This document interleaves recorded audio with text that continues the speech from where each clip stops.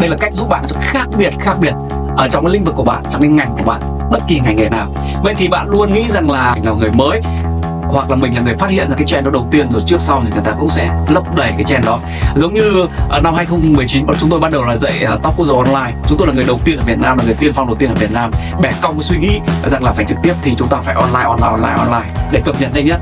Thì chúng tôi là người đi đầu. Nhưng đến bây giờ thì cũng có xuất hiện rất là nhiều người cũng bắt đầu dạy cái online rồi cho nên là làm cái gì thì cũng sẽ có đối thủ cạnh tranh mà thôi. Nhưng backup uh, um, hai quyết định mọi thứ hay là studio vẫn đang có một cái vùng đất rất là tốt để chúng ta kinh doanh.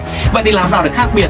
Uh, giữa cái đám đông như vậy làm nào để khác biệt mà nó giống như thế là cái con cừu đen trong cái đám cừu trắng như vậy? Thì đây là một cái cách rất là hay mà tôi học được của người thầy của tôi.